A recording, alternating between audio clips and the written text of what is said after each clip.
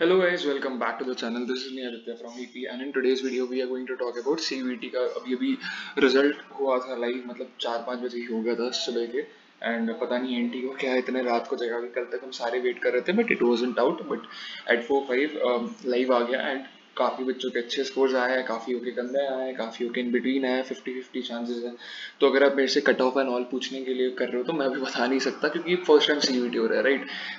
But मैंने भी देखे हैं बच्चों के जिनके पूरे पूरे सौ हैं, सब में सौ आए हैं। वो तो definitely S R C C and top के कॉलेज ले जाएँगे और जिनके अच्छे खासे परसेंटाइल भी बने हैं। परसेंटाइल से कैलकुलेट नहीं हुआ, काफ़ी बच्चे बोल रहे हैं, मेरे इतने परसेंटाइल बने एंड ऑल उससे कैलकुलेट हो ही नहीं सकता। आप खुद ही सोचो ना परसेंटाइल से कैसे कैलकुलेट करेंगे मार्क्स और आप सोच रहे हो कि एन टी वालों ने हमें क्यों एक पूरा परसेंटाइल नहीं दिया क्यों सब्जेक्ट के परसेंटाइल दिए? क्योंकि सबके अलग अलग कॉम्बिनेशन बन रहा है। इट्स नॉट लाइक मैंने जीटी दिया है मैंने इंग्लिश दिया है मैंने कोई डोमेन दे दिया। और मैंने बहुत सारे कॉम्बिनेशन के साथ दिया है राइट तो वो एक परसेंटेज मतलब परसेंटेज कैसे हमें बना के देंगे? So that is the problem वो होगा नहीं और आपको एक नॉर्मलाइज रॉ स्कोर दिया रॉ स्कोर मतलब आप, आपके शिफ्ट डिपेंडिंग मैंने आपको पहले लास्ट वीडियो में बताया था आप देख लेना अगर आपने नहीं देखा कैसे नॉर्मलाइजेशन कैलकुलेट होता है एंड ऑल तो काफ़ी बच्चों के बहुत कम आ गए। कम हो गए स्कोर काफ़ी बच्चों के बढ़ गए हैं। तो नॉर्मलाइजेशन में ये सब हुआ है। एंड मेरे से स्टूडेंट्स पूछ रहे हैं कि क्या डीयू हमारा परसेंटाइल लेगा या नॉर्मलाइज स्कोर लेगा एंड ऑल सो ये एनटीए ने रिलीज़ करा था पीडीएफ इसमें देखिए आपने क्या लिखा हुआ है यहाँ पे। The score card of a candidate will have percentiles and normalize marks universities need to use the normalize marks given in the score card for preparing the ranking list for admissions तो इसका ये मतलब हो गया कि वो आपका normalise score card लेंगे, ना कि परसेंटाइल डी जब कैलकुलेट करेगा मार्क्स तो this is the thing and seven ninety भी आया किसी बच्चों के बहुत कम आए किसी के दो चार परसेंटाइल में दस परसेंटाइल भी आए बहुत कम मार्क्स आए तो यार देखो it's just a process of life right एक अपॉर्चुनिटी आगे आगे आगे सारी भी आएगी and it's just not like कि हो गया सब कुछ खत्म।